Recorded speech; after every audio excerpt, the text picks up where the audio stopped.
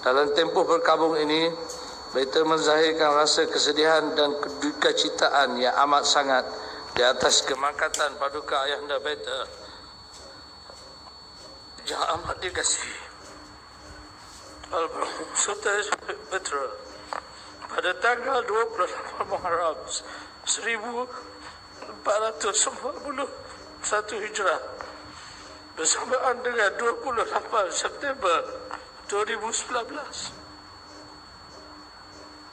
bersamalah